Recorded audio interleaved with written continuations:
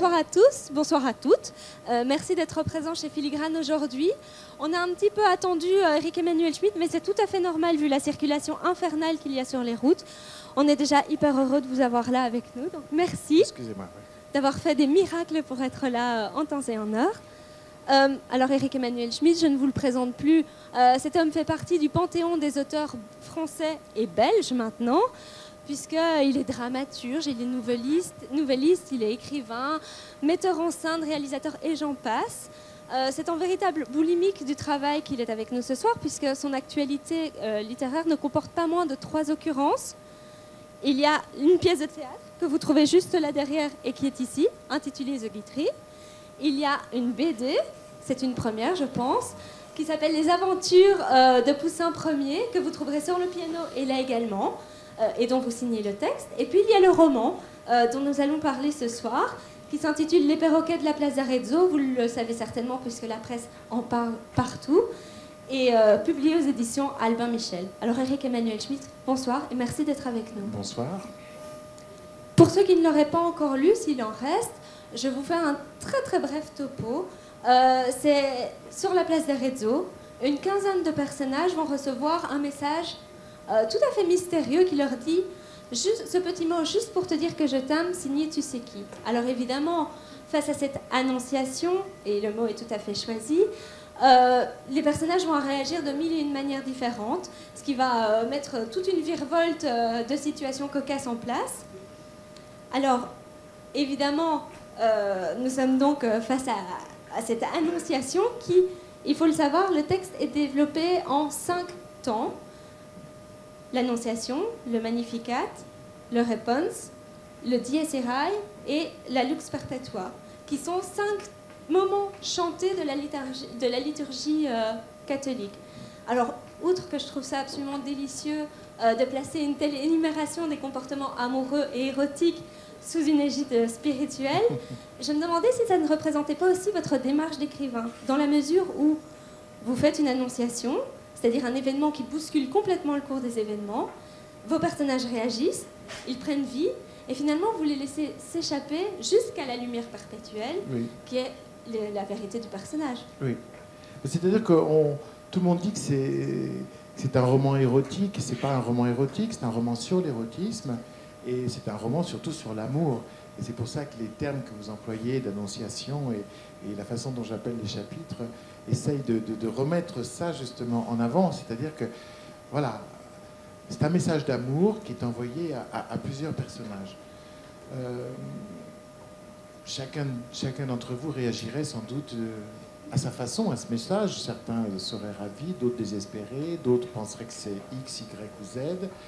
Enfin, et les erreurs commenceraient, ou les aventures commenceraient, ou, etc. Euh, mais en fait, ce que je voulais montrer dans ce livre, c'est ce, ce, que les hommes appellent l'amour, c'est différent absolument pour chacun des personnages. Et j'irai même plus loin, ce que j'essaie de montrer dans ce livre, c'est que finalement, quand la sexualité se mêle à l'amour, eh ben, c'est encore moins facile d'aimer. On a l'impression paradoxale que c'est l'inverse, que les histoires d'amour sont toujours des histoires liées au désir, eh bien, euh, moi, dans ce livre, j'essaye de montrer que le désir, la sexualité, le plaisir, l'échange, chez certains peuvent être le sommet de l'amour et chez d'autres le véritable obstacle à l'amour. Parce qu'il y a dans la sexualité quelque chose d'égoïste euh, qui fait qu'on cherche son plaisir et euh, qu'on ne va pas forcément jusqu'à l'autre. Et puis surtout, il y a l'échange amoureux, justement, il se donne comme un échange. Or, est-ce que l'amour, c'est un échange? Est-ce que l'amour, ça ne devrait pas être inconditionnel, purement généreux, sans volonté de retour? Euh, on, sait très bien que dans la vie, euh, certains et certaines sont capables d'aimer inconditionnellement quand il s'agit de leurs enfants. D'aimer leurs enfants quoi qu'il arrive. Euh, alors ça, c'est de l'amour inconditionnel. Parfois, des enfants sont aussi capables d'aimer inconditionnellement. D'ailleurs, les petits-enfants euh, sont prêts à aimer les adultes, quels qu'ils soient, dans un amour qui les prendra. Même un enfant battu aime euh, le père ou, la mère qui, le bat. Donc cet amour inconditionnel, il existe sur Terre, mais il est assez rare dans les relations amoureuses. Et sans doute parce que justement, la relation amoureuse se donne comme un échange. Je t'aime si. Je t'aime si tu m'aimes. Je t'aime si tu me préfères. Je t'aime si tu me donnes autant que je te donne. Euh, je t'aime si nous sommes d'accord sur la conduite de notre vie. Je t'aime si, même si tu me trompes, tu penses que je suis la personne la plus importante. Je t'aime si. On est dans l'amour conditionnel. Or, le, vrai amour est un amour inconditionnel. Alors, dans ce livre, il faut, je ne peux pas révéler évidemment parce que c'est beaucoup la fin qui vous permet de comprendre ça. Euh, dans ce livre, euh, y, a des, il, y a des, êtres qui rêvent de l'amour inconditionnel. Il y a des êtres qui, sont, qui vont arriver à cet amour inconditionnel et qui passent aussi par la sexualité. Et puis il y a des êtres euh, pour qui la sexualité va représenter, je dirais presque un obstacle, parce que soit la sexualité, c'est juste leur façon de prendre du plaisir, donc l'autre n'a pas d'importance, soit la sexualité est une recherche de sensations différentes, donc c'est une recherche d'expérimentation, c'est pas forcément l'autre qu'on recherche, c'est pas forcément l'amour qu'on recherche, euh, soit la sexualité euh, est un échange de bons procédés, et à ce moment-là, c'est pas non plus d'amour inconditionnel, voilà. Donc c'est pour ça qu'il y a ces titres des parties que vous avez notés qui évoquent une liturgie tout à fait différente. Alors, vous dites euh, de façon très précise qu'il s'agit d'un roman sur la sexualité, mais surtout sur l'amour. Mais je me demande si c'est pas aussi un roman sur l'addiction. L'addiction au sexe, vous découvrirez très vite pourquoi. L'addiction au jeu, l'addiction au pouvoir, mais aussi l'addiction aux apparences. Et est-ce que vous ne voulez pas aussi montrer que la différence entre la sexualité et l'addiction, c'est que la sexualité peut se sublimer, par l'art, comme l'aurait dit Freud, ou plus simplement par les sentiments, alors que l'addiction, elle, ne peut qu'être surmontée? Oui. Euh, il y, a beaucoup de personnages addictifs dans, dans, ce roman. Mais d'ailleurs, beaucoup de critiques ont dit que mon livre était lui-même addictif. Euh, ce qui m'a plu, c'est-à-dire quand on commence, on ne peut pas le finir, donc très bien. Dans Télérama, euh, Fabien Bosso disait il a inventé le, roman addictif, on ne peut pas le lâcher. mais oui, euh, en fait, tous ces personnages dont vous dites qu'ils ont des addictions, ce sont des personnages qui sont en recherche de repères et qui aussi sont en recherche de vertige. Euh, parce que je crois que dans, l'addiction, il y a la volonté de, vivre des choses intensément et peut-être la volonté du vertige. Donc c'est vrai que chez un personnage, toute l'énergie qui n'est pas investie dans la, Mademoiselle Beauvert, toute l'énergie qui n'est pas investie dans la sexualité, elle est investie dans le jeu, euh, etc. mais et puis alors, euh, le plus grand addictif, il y a, plusieurs types d'addictions. Il y a aussi l'homme politique, euh, le commissaire européen, qui, euh, pour qui, la, a des responsabilités énormes et qui va en prendre encore plus, puisqu'il est supposé être le futur Premier ministre de la Belgique, et qui, lui, n'a qu'un mode de décompression par rapport à la, à la surchauffe intellectuelle qu'il éprouve c'est la sexualité, mais une sexualité qui est complètement égoïste, qui ne se rend même plus compte qu'il a des partenaires, et c'est pour ça d'ailleurs qu'il va faire quelque chose de dramatique, parce qu'il va forcer une jeune fille à faire quelque chose qu'elle n'aurait pas fait s'il n'avait pas été aussi plus que pressant. Donc, euh, il, y a, des êtres totalement comme ça addictifs. Il y a un autre type d'addiction, c'est le, personnage que j'adore, que j'ai adoré écrire, qui est Diane, qui, voilà, qui est menottée dès le premier chapitre. Euh, à un lit. Euh, et qui, euh, qui, elle, est en recherche de sensations toujours différentes. Et c'est aussi une forme d'addiction. Quand son mari lui propose de, faire l'amour traditionnellement dans un lit, elle lui dit non, non, ça on l'a déjà fait, on va pas recommencer. Donc il faut toujours, toujours inventer des mises en scène, trouver des, des voilà, des scénarios nouveaux, des décors nouveaux. Donc en fait, elle, ce qu'elle aime, c'est pas l'amour, c'est la nouveauté dans l'amour. Euh, c'est-à-dire la mise en scène de sa propre vie. Et ça devient aussi vertigineux chez elle, jusqu'au moment où, c'est toujours à la fin du livre, elle va rencontrer un personnage qui tout d'un coup a subi ce qu'elle aurait souhaité faire, et là, elle va comprendre un certain nombre de choses. Bref. Ben oui, ces lettres, pour moi, cette lettre anonyme, c'est un moyen de rentrer dans l'intimité de chacun des personnages. Pas seulement de rentrer dans tous les appartements et maisons de la place d'Arezzo en suivant les personnages, mais de rentrer aussi dans leur âme, dans leur et ça, c'était un des grands buts du livre, c'était d'avoir le même regard bienveillant sur des tas de façons de se toucher, de s'approcher, de s'aimer, de se désaimer, euh, absolument sans jugement moral, sauf quand certaines frontières sont passées, mais pour dire tout ce qui est du champ de la sexualité, on n'a pas de jugement moral à porter. Comme disait Diderot, euh, rien n'est interdit sauf ce qui met sa santé ou la santé de l'autre en péril. Puisque nous avions parlé de Zachary Biderman, qui est l'homme politique en question, on a, on a, beaucoup parlé de lui, puisque, puisque évidemment, il y a tout un clin d'œil qui est fait à l'affaire DSK. Oui. Et en même temps, ce que j'ai trouvé vraiment intéressant, c'est plutôt euh, la façon dont vous interrogez le traitement médiatique qui avait eu lieu. Merci. Il y a une scène extrêmement cocasse où Xavier, qui est une espèce de vieille mégère insupportable, raconte des tas d'âneries à un journaliste qui est venu l'interroger. Et ça m'a vraiment, ça m'a vraiment interpellée parce que j'avais l'impression que sous couvert d'un éclat de rire, vous essayiez vraiment de nous rappeler que lorsqu'il est question euh, de journalisme, il faut toujours être prudent dans la réception de l'information surtout quand le sensationnel n'est pas, loin, et que la présomption d'innocence est à peine respectée. Elle n'est pas respectée, et à l'occurrence, euh, il y a aussi une autre dénonciation, c'est le procès en incompétence qui, qui, ensuite fait à cet homme politique. À partir du moment où, il a, où on sait, connaît ses frasques sexuelles, on estime qu'il n'est plus compétent dans le domaine qui est le sien.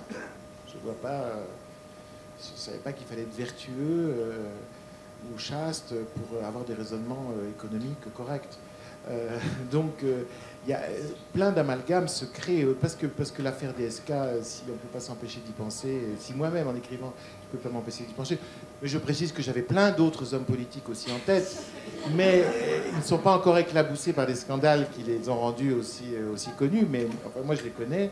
Ça fait des années quand même que je les observe parce qu'il y a visiblement un lien de la libido avec la politique il y aurait un homme politique qui serait là, il séduirait le pied de la table, euh, parce qu'ils ne peuvent pas s'empêcher. C'est même pas parce que le pied de la table pourrait voter, c'est simplement un rapport à l'autre qui est un rapport de, séduction totale. Et bon, il y a quand même beaucoup d'érotomanes dans, dans, ce domaine-là. C'est une attitude générale par rapport à la vie. Euh, mais euh, donc voilà, moi, on peut reconnaître DSK, mais, mais, il y en a tellement d'autres. Et puis il y a aussi le, phénomène des femmes qui sont fascinées par le pouvoir d'un homme et qui, qui, voient un surhomme dans l'homme qui a du pouvoir. C'est aussi un problème de femme.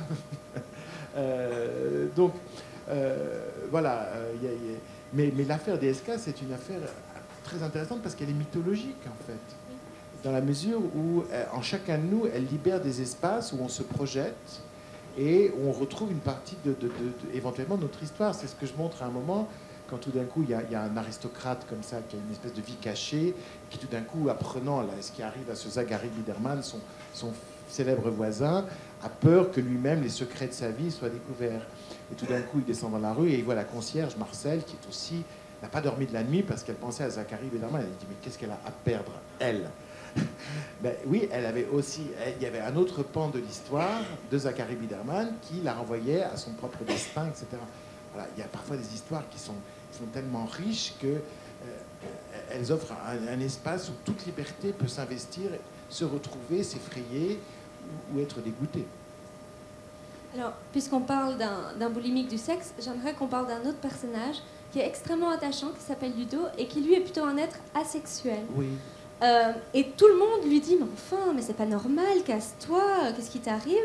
Et ça m'a fait penser à un livre de Sophie Fontanelle qui est sorti il y a quelques années, qui s'appelait L'envie. Je l'avais lu d'ailleurs. Sur euh, le désir et le droit de mettre momentanément, entre parenthèses, sa vie sexuelle. Et du coup, je me suis dit, c'est vrai qu'autrefois, la chasteté était tout à fait idéalisé, souhaité. Et aujourd'hui, on a l'impression que le monde contemporain a complètement renversé cette tendance et qu'un homme ou une femme sans sexualité est une espèce d'anomalie. Bien sûr, Ludovic a 28 ans euh, et, ses amis, comme sa mère, euh, essayent de le précipiter dans les bras de quelqu'un, qui que ce soit, hein. euh, parce qu'il passe pour pathologique. Parce que. et en fait, Ludovic fait partie de ces êtres qui, il paraît que ça serait entre 1 et 4 de la population qui ont une libido vraiment euh, dormante. C'est-à-dire qu'ils n'ont pas, qui peuvent aimer les autres, mais les aimer profondément euh, de, toutes les fibres de leur être, mais pas forcément dans le désir, avec l'accomplissement du désir. Et donc ce personnage me paraissait intéressant parce qu'il était révélateur aussi de la pression que notre époque met sur la sexualité et la performance sexuelle. Aujourd'hui, il faut se réaliser par la sexualité. Euh, il faut être performant, il faut absolument que la femme arrive à l'orgasme, il faut que l'homme euh, aide la femme à arriver à l'orgasme. Je ne suis pas contre hein, tout ce que je suis en train de dire. Mais euh, tout d'un coup, c'est comme si on n'était plus tout seul quand on est en train de faire ça. Il y a l'époque qui est en train de vous dire attention, il faut que ça soit bon, il faut que ça soit réussi, etc. Et ça. C'est notre époque. Et du coup, la sexualité, et maintenant on sait par exemple que sur Internet, il y a des mouvements de gens qui sont asexuels et qui, se parlent qui essayent de se reconnaître et, de, se dire bon, on est, plusieurs, on n'est pas, pas, pas la norme, on n'est pas le nombre, mais on existe et, on se retrouve dans la figure d'autrui. Euh, voilà, les, asexuels voilà, ne, sont pas comme ça. Mais aujourd'hui, c'est une position totalement à contre-courant. Euh, et ça, ça m'intéressait aussi de montrer parce que je voulais pas seulement montrer dans ce livre plusieurs types de sexualité, mais je voulais aussi montrer plusieurs places de la sexualité dans la vie. Je ne voulais pas m'accrocher à une idéologie de la sexualité, le réalisez-vous par la sexualité ou évitez la sexualité pour vous réaliser. toute pensée simple, toute pensée monolithique devait être exclue de ce livre.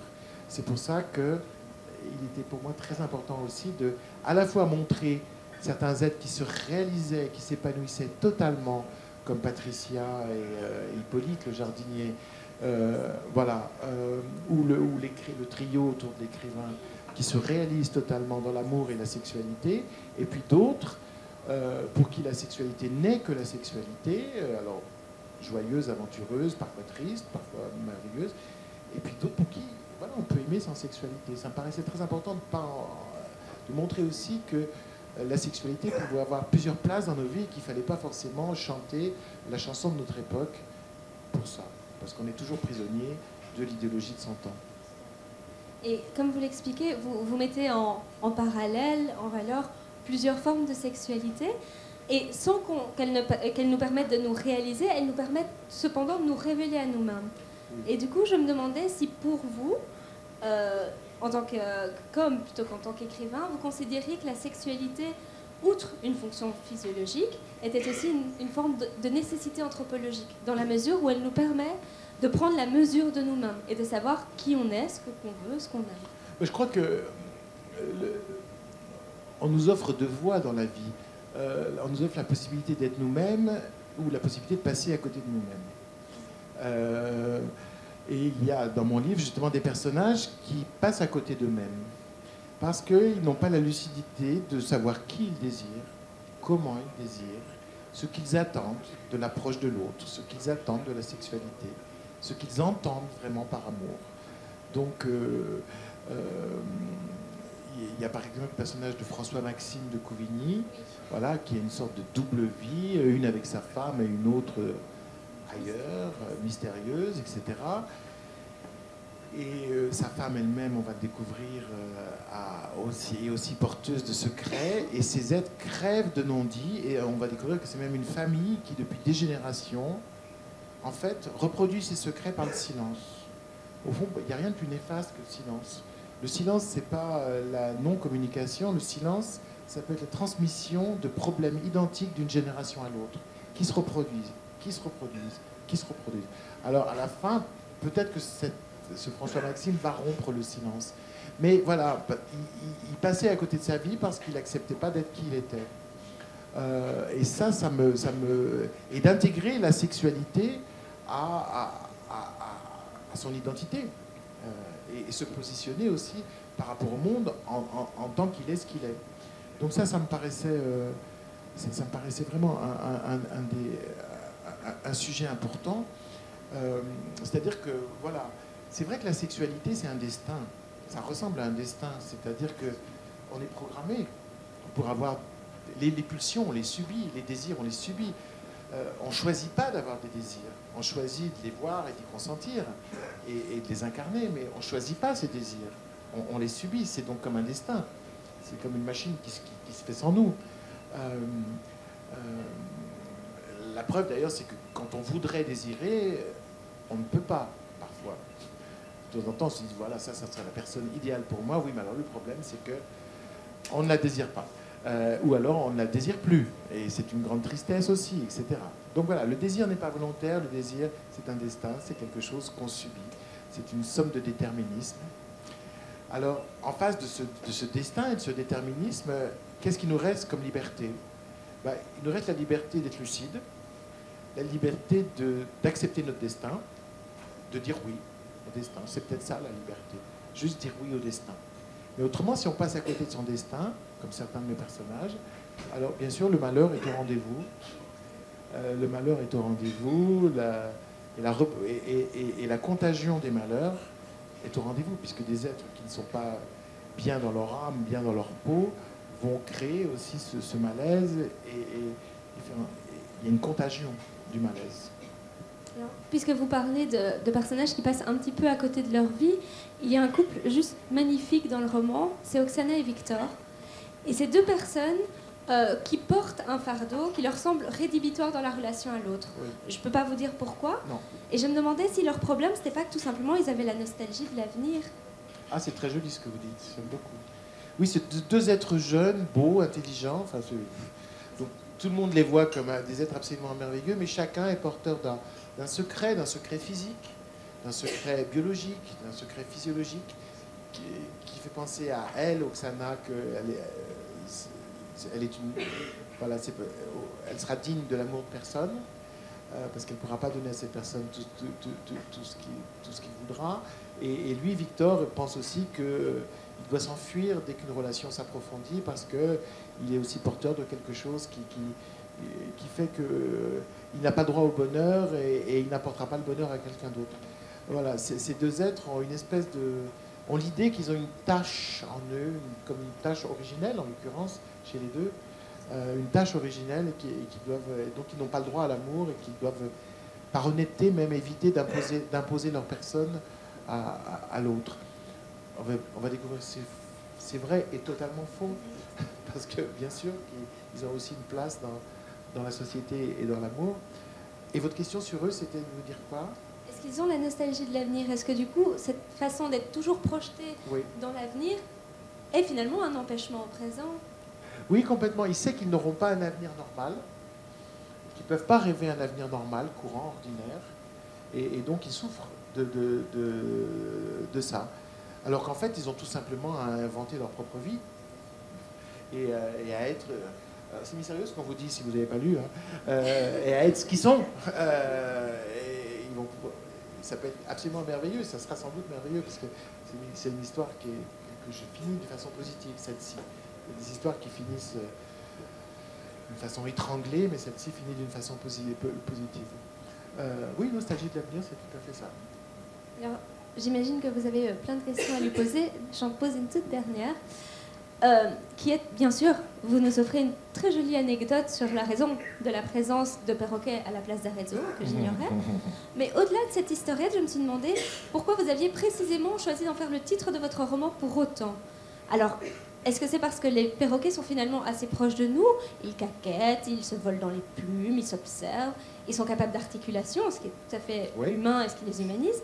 Et en même temps, j'ai découvert en faisant des petites recherches que euh, sur le tableau L'Annonciation, donc évidemment il n'y a pas de secret, de Nicolas Poussin, l'ange portait des ailes de perroquet. Est-ce que c'est pour ça que vous l'avez fait? Est-ce que ça a été une inspiration pour vous? Alors, euh, cette dimension-là, ça me plaît beaucoup, mais je n'y avais pas pensé. Euh, non, non, mais c'est formidable parce que je vais réfléchir. Dès, qu'on arrêtera de parler, je vais réfléchir à, ça. Je ne vais pas vous dire la prochaine fois, je ferai semblant d'y avoir pensé. Euh, non, ma, pensée a été d'abord autre. C'est-à-dire le, jour où je suis arrivé sur cette place d'Arezzo et que j'ai vu ces maisons d'Europe du Nord, et puis mes oreilles entendaient, elles, les tropiques et l'Amazone, puisque j'entendais les perruches et les perroquets ça a été fulgurant. Je me suis dit, ah ben ça, la jungle au cœur de la ville, c'est nous. La pulsion au cœur d'un personnage euh, correct, qui a un langage articulé, euh, qui respecte des règles, des normes, c'est-à-dire, voilà, le désir dans la civilisation, la pulsion dans un corps social, le perroquet sur la place d'Arezzo. Et puis perroquet, il y a l'idée du chatoiement, des couleurs, donc, euh, effectivement, nous sommes des drôles d'oiseaux, et tous mes personnages sont des drôles d'oiseaux, très complexes et contradictoires. Et puis, euh, le perroquet, euh, justement, est un, être pour moi totalement mystérieux, non pas parce qu'il reproduit la parole humaine, mais parce que Que dit-il véritablement? Quand un perroquet parle français, ou allemand, ou, norvégien, qu'est-ce qu'il dit dessous? Quand un perroquet vous dit bonjour Coco, vous, vous croyez qu'il vous dit bonjour Coco, mais est-ce que c'est à vous qui parle? Est-ce qu'il n'est pas en train de dire quelque chose d'autre à quelqu'un? Et sous ce langage articulé qui est votre langage français, est-ce qu'il n'est pas dans le langage d'oiseau en train de dire autre chose? Donc la duplicité linguistique, l'acrobatie linguistique du perroquet me fascine. Et nous, c'est pareil, quand on dit je t'aime, c'est pas bonjour Coco. Qu'est-ce qu'on est en train de dire? D'abord, vous le prenez tous pour vous, comme bonjour Coco. vous allez le prendre pour vous. Et ensuite, qu'est-ce qui se dit dessous? C'est absolument différent pour chacun de nous. Donc c'était ça, euh, la métaphore des, perroquets de la place d'Arezzo qui revient tout le temps dans le livre, etc. etc c'est euh, quel est le vrai langage qu'on est en train de tenir et qu'est-ce qu'on met sous les mots articulés? Est-ce que c'est même saisissable? Alors, avant de vous laisser la parole, juste un petit mot, c'est que vous devez absolument lire le livre, ne serait-ce que pour l'histoire d'amour tout à fait inattendue de Mademoiselle Beauvert. Je ne peux pas vous en dire plus, mais c'est juste merveilleux. Est-ce que quelqu'un souhaite prendre la parole? Vous êtes si timide? Je voulais vous demander, euh, j'avais deux questions sur euh, deux femmes euh, qui peut-être passent à côté. Alors une, je ne me rappelle plus le prénom, elle va toujours avec des hommes plus âgés. Eve. Voilà, et à un moment donné, oui évidemment, elle, a, elle a une relation, et alors, bon, voilà, elle ferme la porte de cette relation et vous dites, elle, avait envie de hurler ce qu'elle ne pouvait pas, et alors je voulais savoir d'abord. Et euh, aussi le personnage de Faustina est assez, euh, mm. finalement assez triste, quoi. Euh, Au fond, oui. Voilà, et alors je voulais vous demander un petit peu si vous pouviez développer. Alors Faustina, c'est un personnage qui, qui n'arrive pas à se reconnaître dans, dans l'amour qu'elle adore faire. C'est-à-dire que ça commence par, euh, on, la trouve dans le premier chapitre, elle est en train de regarder l'homme avec qui elle a passé une nuit extraordinaire au niveau sensuel, et en se disant, c'était trop bien, je peux plus le supporter. En fait, elle ne peut pas se supporter dans l'abandon à l'amour. Elle ne peut pas se supporter dans l'extase sensuelle. Et visiblement, elle y arrive assez vite à l'extase sensuelle. Parce que, voilà. et, donc, c'est quelqu'un qui, euh, au fond, chez un homme, ne cherche que la rencontre sexuelle et en même temps le méprise pour ça, et se méprise d'être celle qui tient autant à ça. C'est-à-dire que voilà un personnage qui n'accepte pas la place que prend la sexualité dans sa vie. Euh, et, donc elle est totalement, elle est totalement euh, on-off. D'ailleurs, on la voit tout le temps dans le roman passer d'un personnage à un autre. C'est-à-dire, euh, une fois qu'elle qu'elle a hurlé, qu'elle est grimpée au plafond entre les bras d'un homme, elle va parler comme une bonne sœur. Euh, parce que tout d'un coup, elle, se, dégoûte d'avoir fait ça, donc c'est pas elle. Euh, donc voilà, c'est quelqu'un qui ne s'unifie pas, c'est-à-dire au fond, qui est très doué pour le sexe, et, qui, méprise le sexe. Et ça, il y a beaucoup de gens comme ça, euh, qui se méprisent dans le plaisir sexuel ou qui se méprisent dans l'extase sensuelle, parce qu'ils n'arrivent pas à se concevoir avec ça. Ils n'arrivent pas à concevoir qu'ils sont aussi de la chair. Euh, ils voudraient être un esprit, euh, ils, ont une pensée dualiste. Donc elle, elle souffre de ça. Ève, euh, c'est plus, plus compliqué. alors, en plus, le chapitre auquel vous fait allusion, c'est assez subtil ce, qu'elle dit à la fin. Il faudrait que je le retrouve.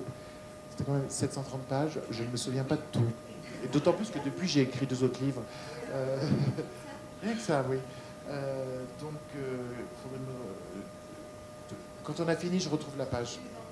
Voilà. Et donc voilà, Eve, c'est quelqu'un qui est, euh, elle est plutôt, euh, c'est une cocotte. Voilà, c'est une cocotte. Elle est habituée à, elle, elle, aime que des messieurs qui sont plus âgés et plus pas de chance, ils sont toujours riches. Euh, et puis, et puis ils n'ont pas beaucoup de temps à lui consacrer, ce qui fait qu'elle peut en avoir plusieurs. Voilà.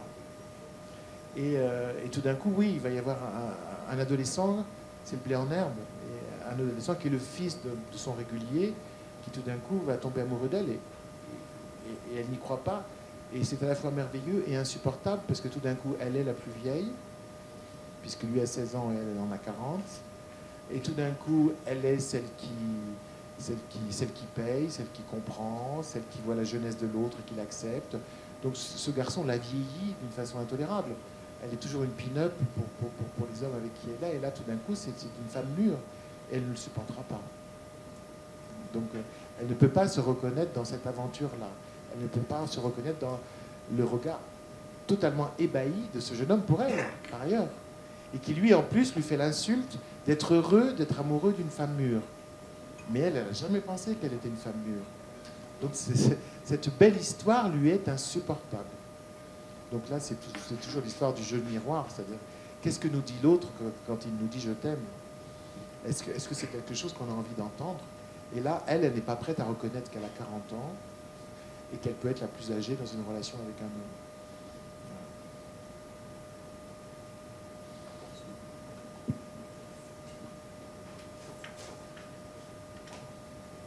En revenant de vacances en voiture, je crois que c'est sur les grosses têtes, je vous ai entendu parler. Est-ce que je me trompe?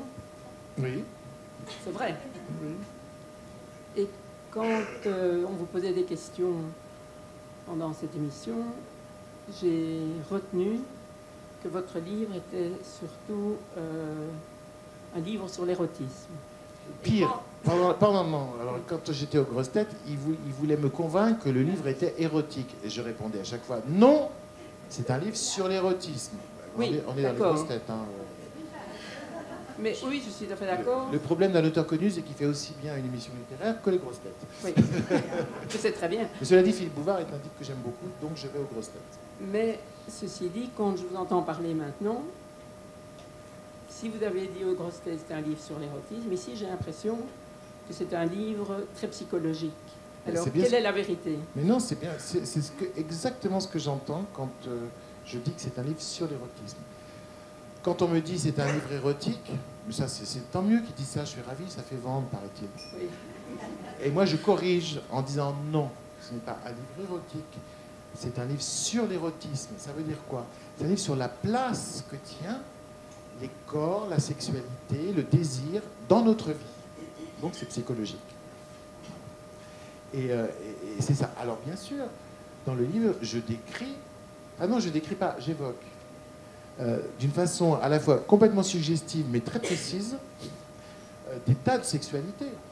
Euh, mais vous savez, c'est toujours la, c'est avec la plume comme avec le cadre d'un photographe ou d'un cinéaste. Deux personnes nues dans un lit, selon comment vous filmez, c'est très beau, c'est clinique ou c'est pornographique. C'est tout dépend comment on cadre.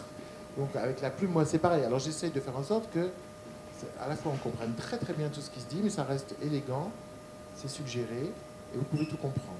Voilà. Mais c'est pas moi qui vais faire de la pornographie. Ça me donne donc envie de lire votre livre. Ah Mais vous savez, le pire, c'est que Bouvard, c'était pour donner aux gens envie qu'ils disaient c'est érotique. Je disais, mais non, c'est sur l'érotisme. Mais lui, eh ben, il, avait, il, avait, il avait beaucoup aimé, hein, ça, on peut pas dire. ça ne m'étonne pas. Mais euh, il l'avait pris euh, pas forcément là où je voulais le mettre, le livre. Si vous n'avez pas d'autres questions, je vous invite à prendre votre livre euh, pour gestion personnelle. Mmh. Mais je vais peut-être me mettre sur une table plutôt, hein, parce que si je peux prendre celle-ci, voilà.